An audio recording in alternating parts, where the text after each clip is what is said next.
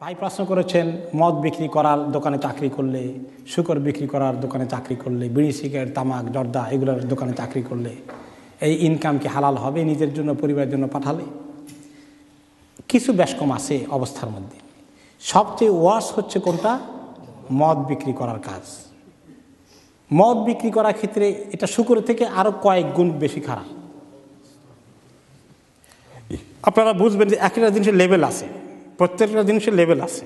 Level অনুযায়ী বোঝার চেষ্টা করবেন। মদের ব্যাপারটা বেশি খারাপ কেন?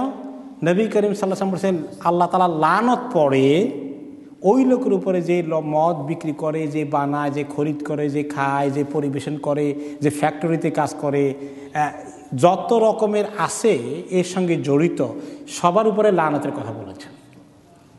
কাজে এটার ক্ষেত্রে কোনো কম্প্রোমাইজ নাই। এই মদ বিক্রি, চাকরি করা যাবে না, ব্যবসা তো দূরের কথা।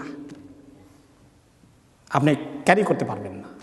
বড় জোর এরকম রেস্টুরেন্টে আপনি যদি পিছনে শেফের কাজ করেন ধোয়া, মশার কাজ করেন, কিন্তু মদ আপনি পরিবেশন করেন না এবং বিক্রি করেন না, তার পয়সা নেন না, তাহলে কিছুটা একটু কমলো আপনার অবস্থা।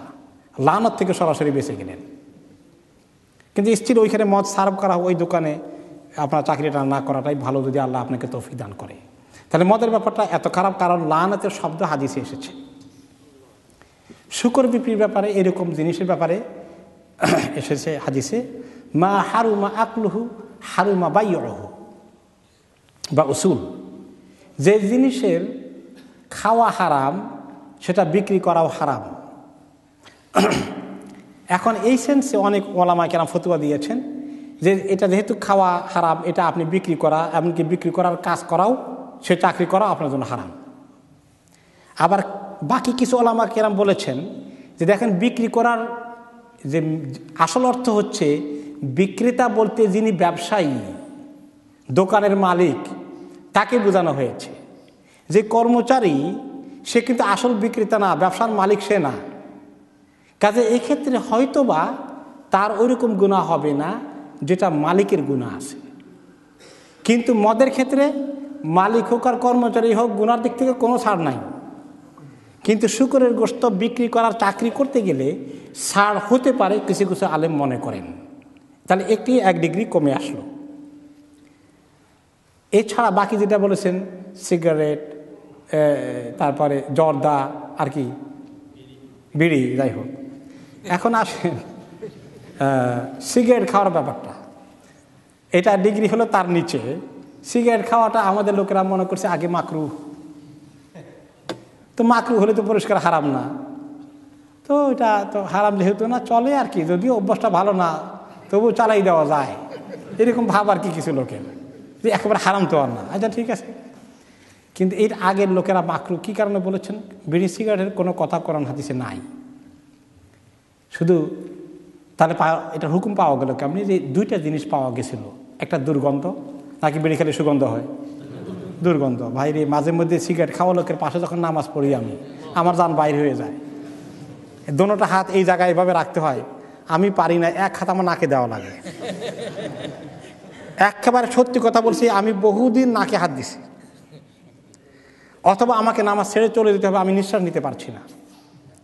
ইয়া আল্লাহ, আমাদের লোকদেরকে আল্লাহ হিদায়ত করুক। কিছু লোকে বিড়ি সিগারেটের কারণে এত দুর্গন্ধ হয়। আর কিছু লোকের বোধহয় বিড়ি, সিগারেট ছাড়াও দুর্গন্ধ হয়। এরকমও কিছু বোধহয় আছে। আমি তো প্রায় ফেস করি, আমি জানি না। এত, এটা বলতে বলতে তো বোধ আমি নিজেও টায়ার্ড হয়ে গেছি। রসুল্লাহ সাল্লাহ সাল্লাম কেন বলছিলেন, উম্মতের জন্য কঠিন না হলে বলতাম আর আমার তুমি সেওয়াক এন্দা কুল্লি সালাহ সব নামাজের আগে বলতাম যে মিসওয়াক করো মিসওয়াক করো। এই জন্য যখনই নামাজ পড়তে আসবেন, অজু করার আগে মিসওয়াক করেন। অজু না করলে মেসা করে কুলি করে আসেন। অবশ্য কেউ মেসওয়াক করেন, কুলি করেন না আরব দেশে। এটা ওনাকে হাদিসে লিটারে নিয়েছেন, ওটাকে নিন্দা করবেন না। আপনি আমলটা না করলেও ঠিক আছে ওটা। দুর্গন্ধ দূর হবে, একটু নাড়াচাড়া করলেও। তো এই কারণে ওনারা নিষেধ করেছেন যে দুর্গন্ধ এক নম্বর। দুই নম্বর হচ্ছে অপব্যয়। কারও কারও ডেইলি এক প্যাকেট লাগে, দশ বিশটা খাওয়া লাগে। তো খামা খা বেকার পয়সা নষ্ট, আর সিগারেটের দাম তো কম না। এ দুই কারণে মাকরু বলা হয়েছিল এর চেয়ে বেশি ওলামাইকে আমার কাছে আর কোনো মাকরু হারাম বলার কোনো কারণ ছিল না।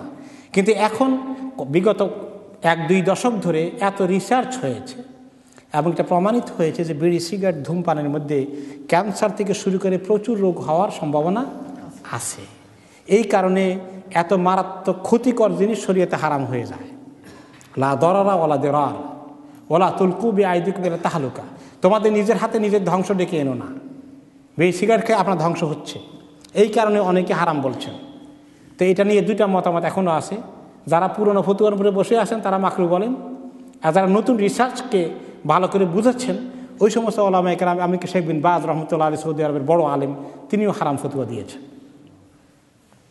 তাহলে ওইটা খাওয়ার ক্ষেত্রে যেহেতু এরকম হারাম, ওইটা বিক্রি করার ক্ষেত্রেও কিছু রিজার্ভেশন চলে আসে।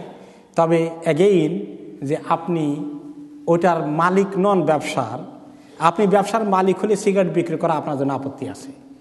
কর্মচারী হিসেবে কাজ করতে গেলে কনসিডারেশন থাকতে পারে বলে কিছু জরুরি ওজরের কারণে কেউ কেউ কনসিডার করেছেন। তারপরে এখন তামাক জর্দা, এটা তো আমাদের বড় বড় মিয়া সাবরা খান। এটাকে হারাম বলবেন কেমনি? মুশকিলের কথা। তো অনেক মিয়া সাহেবেরা বিড়ি সিগারেট পছন্দ করে নাকি তামাক জর্দা ডাটসে খান এখন তামাক জর্দা খাওয়ার ব্যাপারে ও সাদা পাতা, এগুলোর ব্যাপারে তো রিসার্চ প্রচুর আসছে যে মুখে ক্যান্সারের জন্য এটা অন্যতম দায়ী। এই জন্য আরব দেশে অনেক আলম ওলামায় কেরাম তামাক জর্দাকেও হারাম বলেন। তা আমাদের দেশে অবশ্যই এত শক্তিশালী ফতুয়া এখন এসে পৌঁছে নেই। তো এগুলো অ্যাভয়েড করাটা আসলে ভালো, যাদের অভ্যাস আছে অভ্যাসটা ছেড়ে দেন। শুধু পান খান। আস্তে আস্তে মানুষ অভ্যাসের দাস। অভ্যাস থেকে পরিবর্তন করা যায় চেষ্টা করলে। বিড়ি, সিগারেটও ছেড়ে দেওয়ার চেষ্টা করুন। আল্লাহ তালা তৌফিক দান করুন।